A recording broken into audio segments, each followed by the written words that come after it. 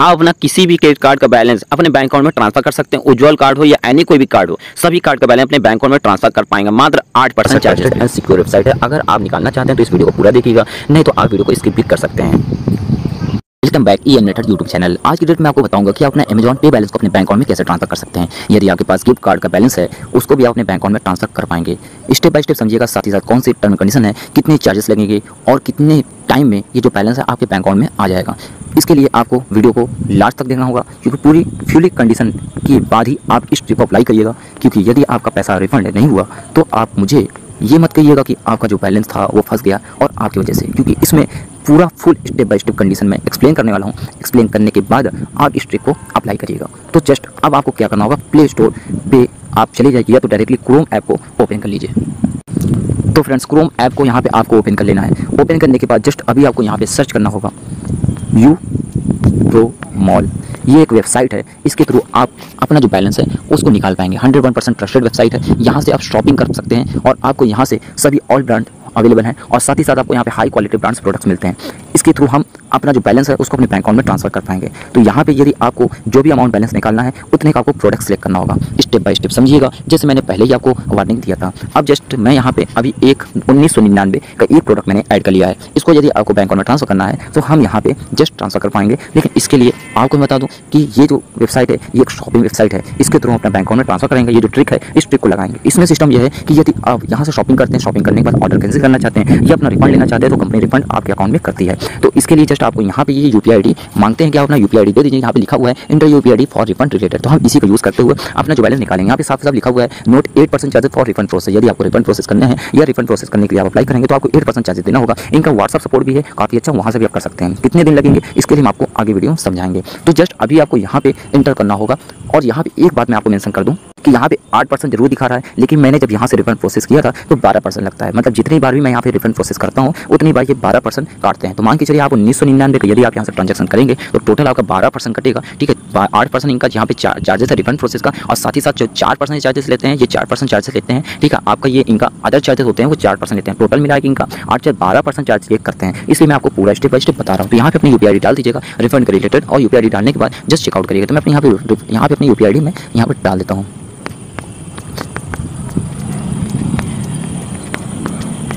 तो फ्रेंड्स मैंने यहाँ पे पेटीएम की यूपीआई डाल दिया है। डालने के बाद जस्ट यहाँ पे आपको चेकआउट वाले सेक्शन में क्लिक करना होगा। यहाँ पे एड्रेस डाल देना होगा। तो एड्रेस आप यहाँ पे डालने के बाद कंटिन्यू वाले सेक्शन में क्लिक करना होगा। क्लिक करने के बाद जस्ट अभी आपको यहाँ पे स्कॉल डाउन करना है और करने के बाद आपको यहाँ पे ऑनलाइन पेमेंट वाला ऑप्शन देखने को मिलेगा। इस पर आपको क्लिक कर देना होगा। लेकिन ध्यान रखिएगा, सबसे इंपॉर्टेंट बात मैं आपको फिर से बता रहा हूँ कि आपको यहाँ से आप एक दिन में, सिर्फ़ एक दिन में तीन हज़ार के अंदर का ही ट्रांजेक्शन कर पाएँगे और पर डे आप सिर्फ़ तीन हज़ार का अंदर का ही प्रोडक्ट बाय करेंगे। और इसमें स्पैम मत करिएगा कंपनी को ये नहीं पता चलना चाहिए कि आप यहाँ पे प्रोडक्ट बाय करने के लिए नहीं आ रहे हैं, बल्कि अपना प्रोडक्ट का जो बैलेंस है, जो उसको रिफंड कराने के लिए आ रहा है। तो ध्यान रखिएगा, एक हफ़्ते में एक ही ट्रांजेक्शन करिएगा, चार मतलब एक महीने में चार ट्रांजेक्शन करिएगा मतलब एक महीने में चार ही बार आप ऑर्डर प्लेस करिएगा और रिफंड करिएगा। रिफंड का जो टाइम है, वो भी मैं आपको बता देता हूँ, ठीक है? तो अभी हम आगे चलते हैं, यहाँ ऑनलाइन वाले पेमेंट वाले सेक्शन में क्लिक करते हैं। यहाँ पे मैं पे नाव वाले सेक्शन में क्लिक कर देता हूँ।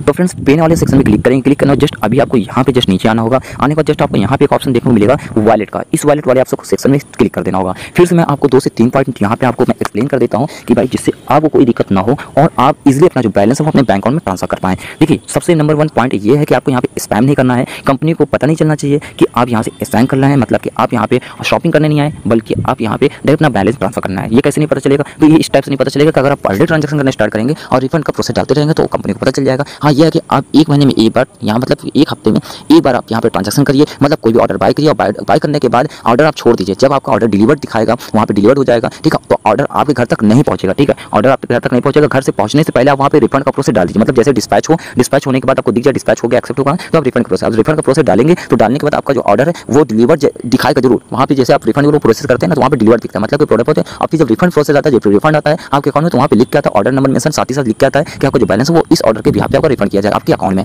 जो यूपीआई आप देते हैं, ठीक है? तो इस टाइप से आपको करना है और अब आप, मैं को आपको कहूँगा कि भाई आप एक ही बार पहले ट्रांजेक्शन करके देखिए, जब आपका रिफंड आ जाए, तब आप दोबारा इसमें ट्रांजेक्शन करिए। तो फ़र्स्ट टाइम ये आप कर सकते हैं, लेकिन हंड्रेड वन परसेंट मैं श्योर हूँ कि आपको जो बैलेंस है रिफंड किया जाएगा और hundred one percent trusted company है, ठीक है? तो तीन हज़ार के अंदर का ही ट्रांजेक्शन कर लीजिएगा वन टाइम के लिए फिर सेकंड टाइम और एक बात और मैं बता दूँ कि एक साथ सभी लोग जाकर ट्रांजेक्शन मत करने लगेगा कि जितने भी लोग हैं, वो सभी लोग एक साथ पहुँच। जाए नहीं, अगर मैंने आज की वीडियो अपलोड किया है तो आप लोग अप्लाई करिएगा और अप्लाई करने के बाद रिफंड का प्रोसेस ऑर्डर आज आपने किया तो रिफंड का प्रोसेस आप कल शाम को ही आप वहाँ पे मेंशन करिएगा कि मुझे रिफंड चाहिए। ठीक है, ये नहीं कि आज ही ऑर्डर किया और आज ही आप जाके वहाँ पे रिक्वेस्ट डाल दें। ये चीज़ आपको ध्यान रखना है। तो कुछ मेन पॉइंट है जो मैं आपको कवर कर रहा हूँ, उसको आपको ध्यान में रखना होगा।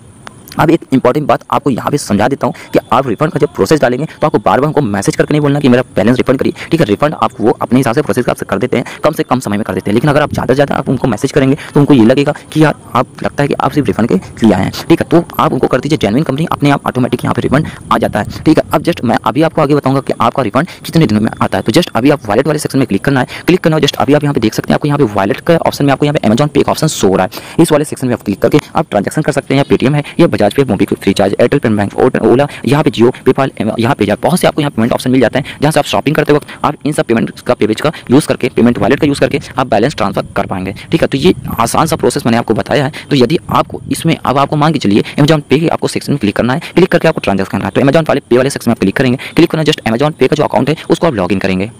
तो फ्रेंड्स फाइनली मैंने यहाँ अमेजॉन पे का जो अकाउंट है, उसको लॉगिन कर लिया है। और लॉगिन करने यहाँ पे मेरे जो अमेजॉन पे का जो वॉलेट है बैलेंस है, वो अभी अवेलेबल नहीं है, क्योंकि मैंने अभी वॉलेट में कोई बैलेंस नहीं रखा है, ठीक है? तो अगर आपकी वॉलेट में बैलेंस होगा तो आपको वो डायरेक्टली आपके यहाँ से अमेजॉन पे से खड़ जाएगा डायरेक्टली आपके अकाउंट में पहुँच जाएगा। तो इस टाइप से आपको प्रोसेस करना है, ठीक है? और अगर आप अपना गिफ्ट कार्ड का बैलेंस निकालना चाहते हैं, जो तो भी आप यहाँ से निकाल सकते हैं, ये प्रोसेस है स्टेप बाय स्टेप यदि कोई डाउट है तो आप डायरेक्टली मेरे टेलीग्राम चैनल पर आ सकते हैं। आने के बाद वहाँ पर आप मेरा व्हाट्सअप नंबर आपको मिल जाएगा टेलीग्राम पे और डायरेक्टली आप मुझे व्हाट्सअप पे मैसेज कर डायरेक्ट करके अपना जो प्रॉब्लम का सोल्यूशन है, वो भी ले सकते हैं। ठीक है तो आइए आप लोग को समझ में आ गया है। वीडियो पसंद है वीडियो को लाइक करिए चैनल को सब्सक्राइब करिए शेयर करिए और आपको इसी तरीके से आपको अच्छे कंटेंट के लिए थोड़ा सा वेट करना होगा।